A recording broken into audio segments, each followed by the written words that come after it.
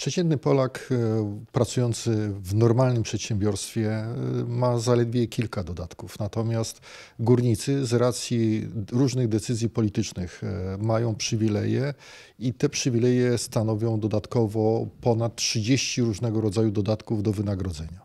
Dodatki które otrzymuje e,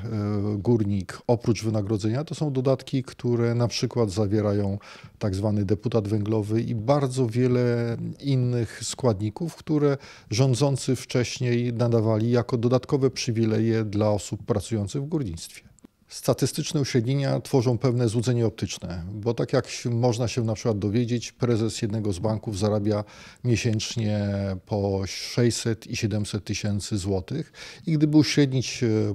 wynagrodzenia w tym banku, to by się okazało, że pracownik, który naprawdę nie odbiega w wynagrodzeniu od średniej krajowej, e, poprzez dodanie wynagrodzenia prezesa i innych członków zarządu zarabiałby kilkanaście więcej tysięcy złotych. Stąd Stąd prawda o średnim wynagrodzeniu w górnictwie jest podobna jak do średniego wynagrodzenia w bankowości. Bez wątpienia jest to wartość e, dosyć mocno zawyżana przez wynagrodzenia tak zwanej kadry i ten średni górnik, y, ten górnik dołowy czasami zarabia na rękę e, niewiele więcej, ponad 2000 zł,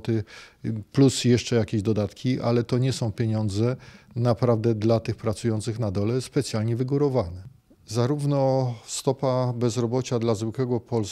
zwykłego Jana Kowalskiego, jak i dla polskiego górnika to jest stopa dwucyfrowa. W Polsce mamy bezrobocie od e, kilkunastu lat na poziomie dwucyfrowym, stąd te różnice, które są na korzyść górnika nie są tak zachwycające, bo ciągle jest to stopa dwucyfrowa. Stąd e, generalnie w Polsce bezrobocie, z którym rząd sobie nie może poradzić, jak widać nie radzi, jest dramatycznym problemem problemem społecznym wszędzie, nawet e, tam, gdzie jest niewiele 11% jak w przypadku górników. Jest spora część górnictwa, która należy do rządu, która jest dalej w ten czy inny sposób faworyzowana i w której wynagrodzenia są wynikiem e, twardych negocjacji na ulicy i w ten sposób uzyskiwania dodatkowych przywilejów albo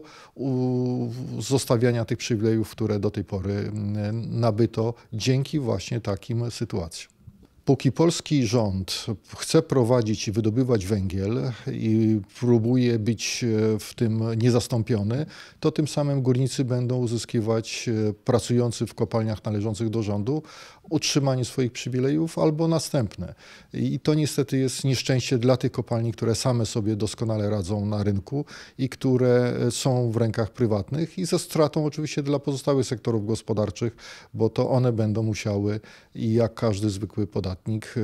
finansować e, niefrasobliwą i szkodliwą działalność polskiego rządu w obszarze górnictwa.